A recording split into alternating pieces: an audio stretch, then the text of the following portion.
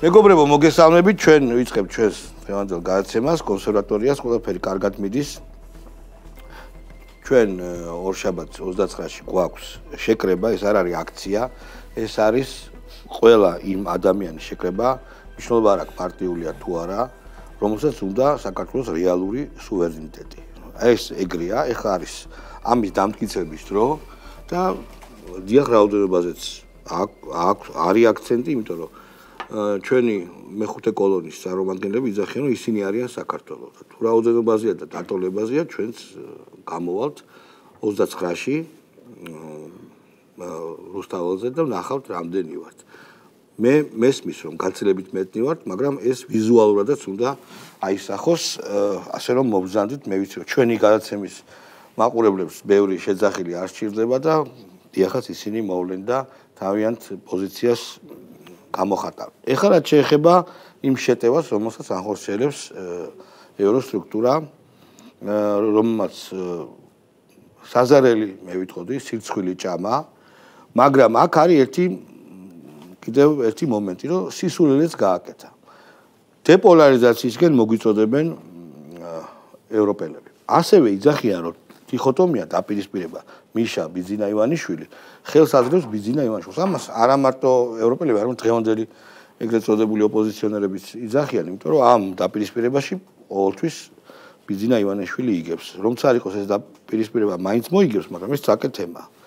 თავად ერთ-ერთმა უმაღლესმა ორგანომ ევროპისა მოახდინა ინსპირირება ასეთი დიქოტომის, ასეთი დაპირისპირების, ასეთი დუალიზმის ახალი ტალღის. მან ერთ და იგივე ტექსში თქვა რომ პოლიტპატიმარი არის ჩვენთვის ყოველასათვის ნაცნობი მკვლელი, აოხრებელი გზირი სააკაშვილი და უნდა გამოუშვათ და ასევე მოითხოვა დასანქცირება ადამიანის რომელიც თელ თავისი სიცოცხლე შესაძლებლობები და რესურსი და ყველაფერი შესწირა საქართველოს და შესწირავს ისწრებს მას კიდევ ერთხელ დიდი მადლობა. მოკლედ ეს გააკეთეს უკვე და ამას ეს ფაქტია უკვე და დიდი მადლობა ამისთვის. ქართველი ხალხი მიხედვით იმისა, არის ოცნების მომხრე თუ არ არის. აი ამ დაპირისპირებაში თავის ადგილს და თავის პოზიციას ნახავს, როგორც აქამდე ყოველთვის იყო. და კიდევ ერთხელ მომო დიდი მადლობა ამისთვის. დავიწყოთ დისკუსია, მოდი, შერასიტყვი აი ამ რეზოლუციაზე, ამ სიგიჟეზე, რომელიც გამოაქვეყნეს. შალომ, ვიცი რა არის?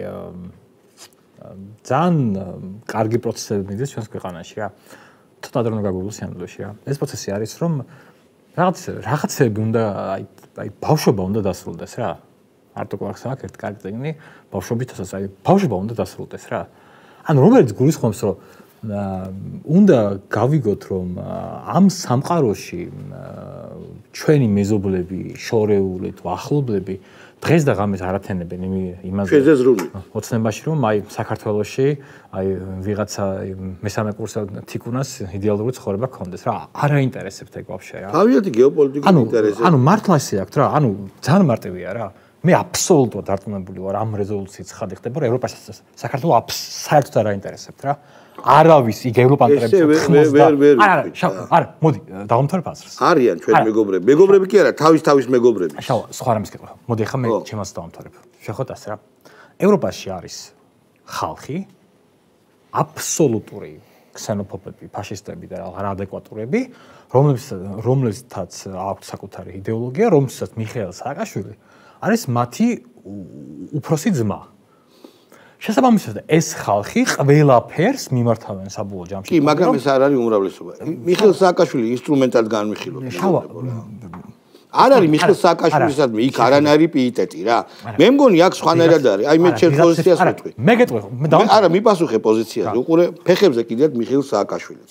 უბრალოდ რომ არ გამოუვიდათ არევა, ისევ ძველ იარაღს დაუბრუნდნენ სააკაშვილს და უნდათ რომ გამოიყვანონ. ეს ერთი, მეორე როცა ამობ რომ ევროპაში არის ესეთ ხალხი, კი, დღეს ევროპის მართლობაში ამ ევროსტრუქტურებში ბევრია, მაგრამ არის არჩევნები? კი, კი. და ეხლა ქვეყნებშიც არჩევნებია და იმედია რომ ჭკვიანი ხალხი გაიმარჯვებს. ხო, მაგრამ მაგრამ მე სხვა რამეზე მინდა მივახსოვრო ყურადღება რა. როდესაც ევროპარლამენტარები კითხულობენ და თუ მათ საქართველოს აინტერესებთ, მათ უნდა იცოდნენ ვინ არის მიხეილ სააკაშვილი რა. აფეხებზე კიდიათ, ე. ხო და მაგაშია, ანუ შალვა, შეხედე, ანუ მე ანუ ჩემი თეზისი. ყველა ყველა ნიღაბით გამოხსნილია. ჩემი თეზისი არის რომ ეს ადასტურებს იმას, რომ ევროპაში ძალიან ბევრს უბრალოდ არ ვაინტერესებთ. არა და ვიღაცების ინტერესების გამო ღებულობენ გავიგე ეს ხო ამერიკელების ზეწოლით მოხდა ამ რეზოლუციის მიღება ეს ხო ვიცით ჩვენ ძალიან კარგად რომ მიხეილ სააკაშვილი განიხილება რატომღაც ჯესეთი ბევრი ფულია დახარჯული სააკაშვილის მოპარული ფულია ვიცით აგერ ფარა არსებობს რუსული კანონი ამერიკაში და ვიცით რომ ფული იხარჯება ამაში. ეს ერთი. მეორე. ჩვენ ძალიან კარგად ვიცით რომ სააკაშვილი როგორც ამრევი ისე სჭირდებათ. არ გამოუვიდათ ამ ოპოზიციისგან არ გამოუვიდათ მედიისგან არაფერი ეგრეთ წოდებული ოპომედიისგან არ გამოუვიდათ NGO-ს, MNGO-ს სექტორისგან და ისევ ძველ თემას უბრუნდებიან და ახაც არ გამოვათ. მოდი შენ რაღაც სტატუსის გაქვს დასაკითხი და რაღაცა თემაზეც გინდა ისაუბრო. დავიკითხავ ცოტა განსხვავებული პოზიციები მაქვს. აბა მიდი. მე მგონია ეს გამოსვლები სხვანაირია ვიდრე წინა გამოსვლები და ახსნი რატომაც. რომელი გამოსვლები? აი ახლა რაც ხდება. ოპოს გამოსვლები? თლიანად, იმიტომ რომ მე მგონია რომ თუნდა შარშანდელთან შედარებით დღევანდელ ამ ყველაფრის ორგანიზატორი ქართველები არ არიან. და ეს ეთყობა ყველა იმ სქემასა და იმ ლოგიკურ სტრუქტურას, როგორთაც იმართ ეგრეთ წოდებული პროტესტი კი ბატონო. ეგრეთ პროტესტი ეს პოლიტ და მე მგონია რომ ჭკვიანი ადამიანები არიან ამჯერად, იმიტომ რომ პირველი რაც ნახეს შარშან და შარშან წერილაც ხდებოდა ეს იყო აქ ნაციონალური მოძრაობა ან კონკრეტულ რაღაც პოლიტიკურ ძალაზე, ძალას იყო მინდობილი ეს აქციები. მათ არაფერი არ იციან გარდა ან პარლამენტში უნდა შეიჭრან, ან მოლოტოვი უნდა ისრულონ და ყველა ამ ჯერზე მათ ნახეს, რომ ყველა ძალადობა საზოგადოების მიერ არის ახული უარყოფითად. ეხლა ამ ეტაპზე ძალიან სწორი დასკვნები გააკეთეს და ამას არ აკეთებენ. კი, ამ ეტაპზეო. ამ ეტაპზე და მინდა თქვა რომ თუ ჩვენ აი იმედზეც ვიყავით და საუბრობდით მაკოგნიტურ რომზე და ჩვენ თუ აკერმანის ტექსტებს და ნახავთ და სხვა ტექსტებსაც აკერმანის იქ პირდაპირ წერე ეგ არ არის ჯერ გადატეალებისთვის მზადება ესა განწყობების შექმნა. კი ბატონო. და შესაბამისად ჩვენ უნდა ველოდოთ ოქტომბერში უკვე მეორე ეტაპს და უფრო სერიოზულ ეტაპს. და ის რაც წერი აკერმანთან ის ხორციელდება. ეს არ არის რაღაცა ადგილობრივი ნაცების დაგეგმილი ხა კონკრეტულად რას გულისხმობ? პირველ რიგში ხა რასაც ვხედავ ჩვენ წინა პლანზე წინა რიგებში გამოდის ის ხალხი, რომლებიც ამბობს, რომ მე არც ნაცი ვარ და არც ხოცი. ხოცი. ეს დიდი არგუმენტი არგუმენტია მეორე. ოღონ ვინ გამოდის? აბა კონკრეტულად. უღაძე. არა, არა, აი იქ იყო თუნდაც პაპუაშვილს რო ეკამათა ოზურგეთის რაღაცა კორესპონდენტი იყო და სხვადასხვა ესეთი ძალები და ხში ბევრი გამოვა ესეთი. ეს მთლიანად არის ჩაწერილი მაგეგმაში რომ აი ეს პოლიტიკური შინაარსი ანუ რა არის? გამოაცალონ პარტიული. პოლიტიკური არა პარტიული კი ბატონო პარტიული შინაარსი გამოაცალონ. ხო მაგრამ ინსტრუმენტი პოლიტიკის განხორციელება პარტია. რა თქმა უნდა ან პარტიები აქვს ჩართულები ორგანიზაციულ საკითხში პარტიები არიან ჩართულები. უფრო სწორედ აღმასრულებელ საკითხებში არიან. ორგანიზატორები მგონია რომ აღარ გეგმა რაში მდგომარეობს? გეგმა მდგომარეობს იმაში რომ შეი ანუ ორი ორი ორი ისა აქვს მიმართულება აქვს. თუ შენ წაიღე უკან კანონი, ესე იგი სუსტი ხელისუფლება ხარ, უნიათო ხარ, თუ გაეტანე ტირანიული ხელისუფლება ხარ და ანტიდემოკრატიული ხარ. და ამ აზრის შექმნა რომ თლად ესე არ არის და თლად წესრიგში არ არის მდგომარეობა, ეს უნდა მივიდეს ყველასთან და რას თავარია? კონკრეტული ომის ყველაზე მთავარი მანიშნებელი არის ისეთი პანიკის შექმნა, რომელიც შენ არ გესმის. თუ შენ მოახერხე, რა ვიცი, 15-დან 18%-მდე ადამიანების ამ მდგომარეობაში ჩაგდება, ადამიანი ამ ემოციას ვერ ინახავს საკუთარ თავში. ადამიანი თუმცა თუ ახალგაზრდა. მით თუმცა თუ ახალგაზრდა, მას ჭირდება რომ გაუზიაროს. ეგ ყველგან ეგრე ხდება. შემდეგ, შემდეგ ეტაპი რა როდის ვარდები ეს მდგომარეობაში, ხო? ვარდები მაშინ, როდესაც შენ არ გესმის შინაარსი.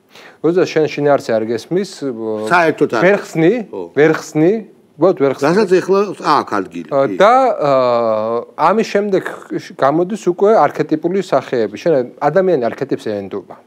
უფრო მეტად, თუნდაც შინაარსი არ გესმის. რა არის არქეტიპი? ეს არის ახალ ბავშვები, რომელსაც დროშები უჭიროთ, ეს არის დროშიანი ქალი, ეს არის რა ვიცი, სტუდენტი, რომელიც ყვავილს აწვის. კარიკატურაა.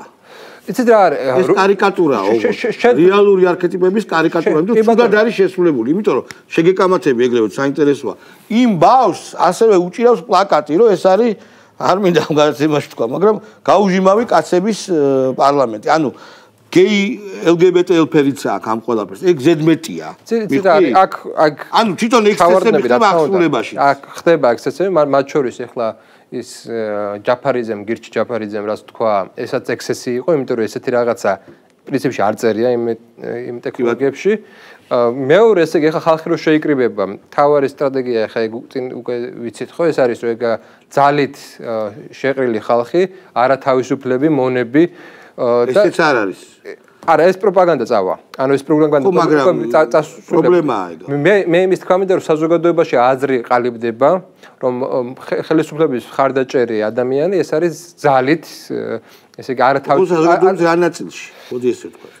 აი იმ საინფორმაციო სივრცეებში, რა საინფორმაციო სივრცეებსაც ისინი ფლობენ. ვიცით ამ საინფორმაციო სივრცეების რეიტინგებიც.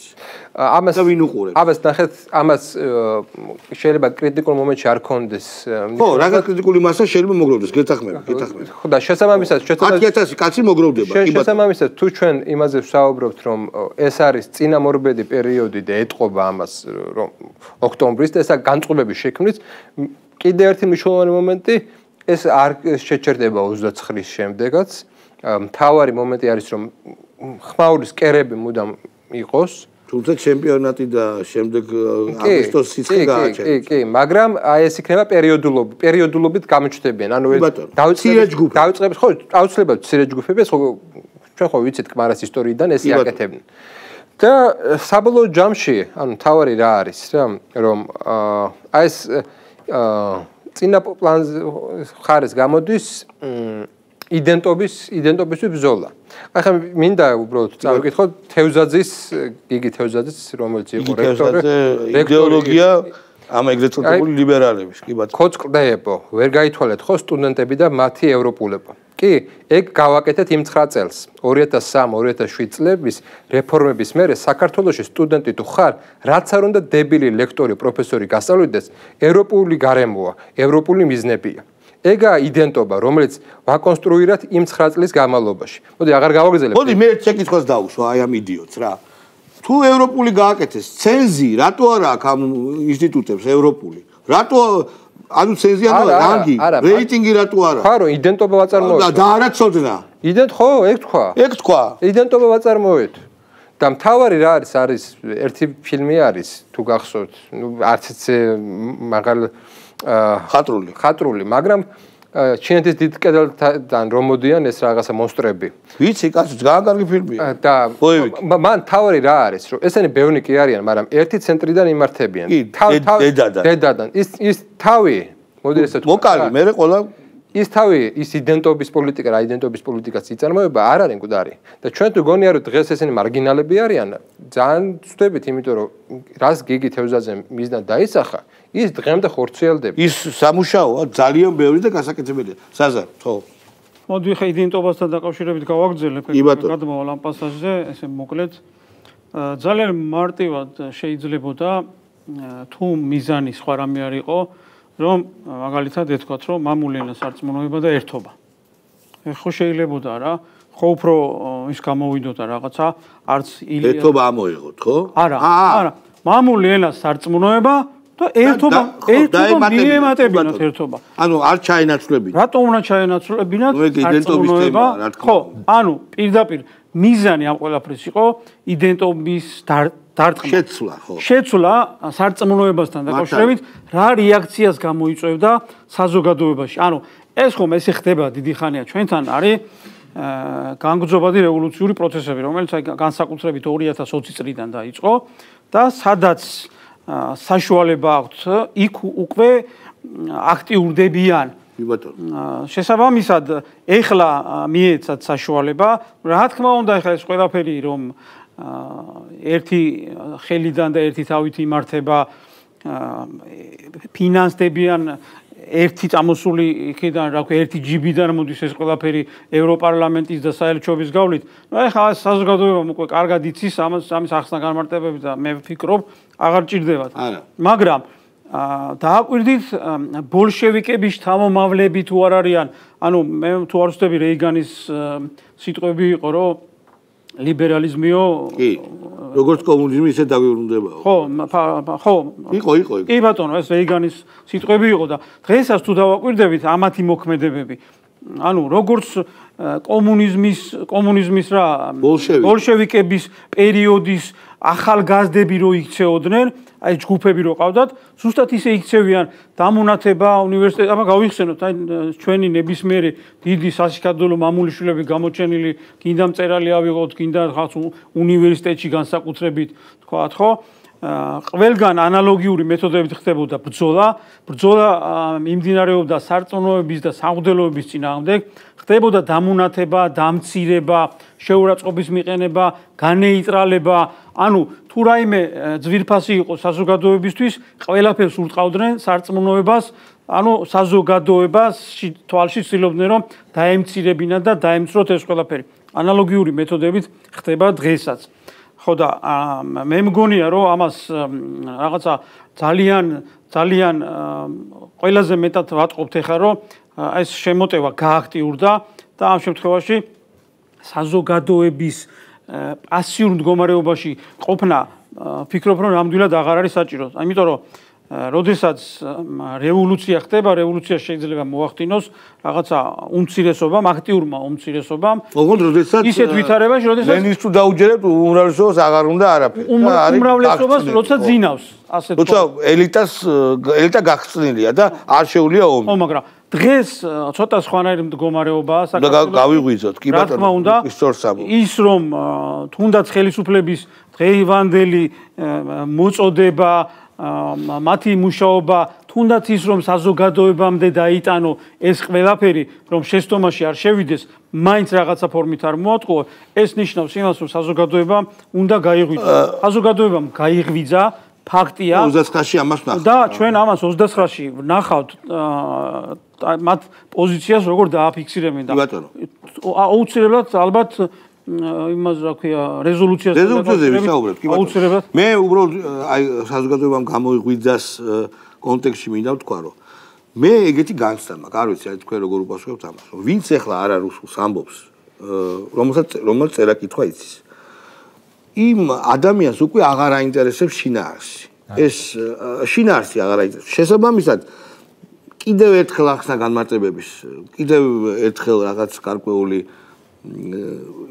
არგუმენტირებული დისკუსიის, არგუმენტებით დისკუსიის მოთხოვნილება მათთან უკვე აღარ არის, რა სიტყვაში. მე აბსოლუტ. მოდი მე ასე გავაკეთებ რა. რადგანაც უკვე ამ ტელევიზიაში უკვე 5 წელი ვარ და ვუყურებ და ეს არ არის პირველი შემთხვევა, როცა რაღაც დებილურ აქციებზე მიწოს ლაპარაკი. მოდი მე ჩავატარებ რევიზიას რა. მე როგორც ადამიანს, რომელიც ერთდროულად აერთიანებს უსაზღვრო ოპტიმიზმს და საკმაოდ ხმა პესიმიზმსაც გეტყვით ეს რამის რა მოდი ო კოზმა პრუტკო მოდი შევხედოთ. ანუ ხო. იძა აბიაც ნიაბიატნა თქვა? ხო ანუ კოზმა პრუტკო მე ხა დამდები ანუ შევხედოთ ყველაფერს შევხედოთ ყველაფერს მოდი თქვა. ძალიან ბევრჯერ იყო ბოლო 4 წელიწადში ოდესაც ნაცებს არანაცებს ვიღაცებს ქონდათ რაღაცა აქციები და ძალიან ბევრჯერ აღმოჩნდა რომ ეს აქციები არჩევნებზე არ აისახება. ხო, ვერ ვერ ვერ აისახება, იმიტომ რომ საქართველოს მოსახლეობის დიდი ნაწილი არის განწყობილი ამ ყველაფრის წინააღმდეგ. კი ბატონო. ხო. ერთადერთი რაზეც აისახება არის ჩვენს ნერვებზე. მართლა. და ეკონომიკაზე. ნერვებზე, ეკონომიკაზე, ძალიან მურტალია. ტურიზმზე, ანუ ძალიან დიდი, ანუ ძალიან რაღაცეები. სასწაული ეკონომიკური ზარალი მოგვაყენეს დებილმა ფაშისტებმა, რომელიც ყავს ნაცების, აი ძალიან დიდი ეკონომიკური ზარალი მიგვაყენეს, რომ საცხოდ არც დაგთვლი, არც დაგვეთვლი. ანუ ანუ ეს მე რატომ ვამფრა, რომ ეხლა, ანუ მოდით შევხედოთ ასე რა. საქართველოს ხელისუფლებას აქვს ამდენიმე ძლიერი მხარე. პირველი ძლიერი მხარე რომ მან იცის როგორ იმოქმედეს კანონიერ ჩარჩებში ამ ხალხის ძინაამდე. კი ბატონო. მოქმედებს ძალიან კარგად. რასაც ადასტურებს ყველა არჩევნები. შესაბამისად, მიუხედავად იმისა, რომ ჩვენ ახლა ნევრები მოგვეშლება და ამ ხალხს არ შეუძლიათ სხვა ყველაფერი, აუცილებლად ეს ყველაფერი ნათოდება ჩვენი გამარჯვებით. უბრალოდ აქ საუბარი არის იმაზე, რომ შეიძლება მივიღოთ რაღაც არალიც. კი. და ამ ზარალის შემცირება. არ უნდა იყოს ზარალი ეგზისტენციური რა. ხო, ანუ ამს იმიტომ რომ არის მართლა შეუძლიათ გვაჩვენეს, რომ შეუძლიათ ახალი მეთოდოლოგიებით გვაჩვენეს. ანუ რა იცი ახლა შალვა ანუ მართლა არის რა ახლა რასაც შენ ამბობ რა ახლა მე მაგალითად ახლა რა ვიცი ხა ჩემი ძალიან რამოდენიმე ნაცნობს რომ მივხვდი რომ რომ დაველაპარაკე მივხვდი რომ აქ არ არის ლაპარაკი კანონზე. არა, შინაარსი. არა, არა, არა აქვს მნიშვნელობა, შინაარსი. ანუ აი შინაარსი რო იყოს რო აი რა ვიცი, აი. აი აქ ეს წერი, აქ ეს წერი. აა, არა, ანუ ანუ არ წაუკით, არა აქვს მნიშვნელობა. არ წაიკითხავს. არ წარ, რატომ წაიკითხოს? ჯერთი. არ დაიკითხო შეუძლია. არიან ეგეთი ადამიანები. ეს შეიძლება აკერმანის მეთოდი იქ ეწერა რა, რომ შენ კარგად იცნობ აკერმანი. არა, გავეცანი, მე დავიცან, დამაინტერესა მეთი მეთოდი. ხო, რა არის? კოგნიტიური ომები. აა, ესე იგი, თავარი რა იყო, რომ ანუ შენ ლოზუნგი, ლოზუნგი უნდა იყოს იმდენად შეუვალი, რომ იმაზე ლაპარაკის არ უნდა იყოს. ხო, მე ხო პროპაგანდის ერთ-ერთი თავარია. აკერმანმა რა თქვა ახალი, ანუ ყველა პროპაგანდისტი ასე აკეთებს. მართლაც ინსტინქტებზე მოქმედებს, ძალიან ღრმა ცხოველურ ინსტინქტებზე მოქმედებს და შინაარსი აი რა არის განსხვავება? აი მაგალითად ბოლშევიკებიც ხომ ამ სლოგანებით და ლოზუნგებით გამოდიოდა. ბოლშევიკები თუნდაც შინაარსს მიწა მიწა არა, მიწა გლეხებს მაგალითად, ხო? აი ძალიან ძალიან საინტერესო. მაგრამ მაშინ გასაგები იყო, რასაც ნიშნავდა ეგ მიწა გლეხი. ხო, ისე პრინციპში ქახნები მუშებს. ეხლა რას ნიშნავს რუსული რუსული აი ზოგადად რუსული კანონის შინაარსი მითხარ. ქახნები მუშებს მე მესმის რას ნიშნავს. კი, მეც მესმის. და მიწა გლეხებს რასაც ნიშნავს. აი ეს მითხარ რუსული კანონი რა არის შინაარსი? ნუ აი აი საინტერესო შეკითხვა, რუსული კანონია, რუსეთი რა ხან არის? ტერი კანონი არის რუსული და მორჩა რუსული არაფერი არ ვარგა მათ შორის კანონიც აი აი ეს ამ ინსტინქტებზე მოქმედებენ რუსეთი ხომ ტერია რუსეთი ხო არ ვარგა რუსეთი ხო საშინელება თუ რუსულია რამე? მე რა რომ ხელს გიშლის დასავლეთის ინტეგრაციის მე რა რომ აქ ელექტროენერგია და სხვა ენერგეტიკული მთელი სიმძლავრეები რუსეთს აქვს რუსეთის სახელმწიფო კომპანია. თვითონ მიყიდეს ეგ არაფერი. თვითონ მიყიდეს ეგ არაფერი. აი რუსეთი ხო. აბა მას მიპასუხე. მე ხები ლოგიკურად გემუნები თუ ის არ ემოციებზე რო ისაუბროთ აი როდესაც არქეტიპები შემოდის აქ შენ ყველაზე რუსეთუმე ტიპმაც რო დაიჭიროს ამერიკის დროშა აქ იმუშავებს არა შინაარსი არამედ ეგ დროშა. ა ვიდეო ხატი. ხატი. ამიტომ ამიტომ მავი ხოშტარიასაც შეუულია დაიჭირ და უჭირავს კიდევაც ევროპული დროშა. და ფული აიღოს რუსეთიდან. არავინ არ კითხულობს საერთოდ აქვს ეს ფული. არა არა ყველა მიცის. თან იცის მაგრამ რადგან ეს დროშა არის მთავარი აქ ანუ მე რო დავიჭირო ახლა ამერიკის დროშა და თქვა რომ ეს არის რუსული კანონი მე ეს ხო ვარ მკვლელი ბავშვებს ჭამ ვაუპატიურებ ადამიანებს, ფულის მონავარ, მე ეგრევე კაი ტიპი გავხდები, ხო? მაგათ თვალში. რა თქმა უნდა. გარკვეული პერიოდი. საჭირო გააჩნია. ყოველ შემთხვევაში მინიმუმ ესე იგი არქეტიპულ დისონანსს გამოიწვევ. ეს აშკარა. მაგრამ აი მთავარი აქ რა არის რომ ესეთი ესეთ მდგომარეობაში ჩავარენ ადამიანებთან როგორც გითხარი, პანიკი, იდეალური პანიკა უნდა შექმნათ და მეორე რას თავარია აი ებრაული წყევლა ხო?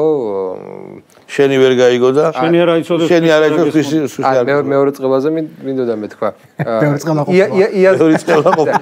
იაზრი იაზროვნე ისე როგორც ბავშვები ბავშვები აზროვნებენ ეგეთ წყევლა არის რა და ანუ ესეთ მდგომარეობაში ჩააგდო საზოგადოება ანუ ბავშვი ინფანტილურ მდგომარეობაში ინფანტილურ მდგომარეობაში ინფანტილურ მდგომარეობაში ჩააგდო ბუამ ბუა ბუა გეშინოდეს როგორც ბავშვი ხო ესეთ ესე გაუცნობიერებლად ეშინია რაღაცა მარტივად ისა კონტროლირებადია შესაძლოა ესეთ ადამიანებს ვისაც ეშინიათ ვინც პანიკაში არის ვინც ესეთ მდგომარეობაში ისინი მარტივად ესე იგი მაგ სიმბოლოებითა და სახეებით მარტივად იწებენ ცოტა ხანში ვიწყვის რა უნდა დაუპირისპიროთ ამას? კარგია ეს ლაპარაკი მაგრამ რეკლამაც ვნახოთ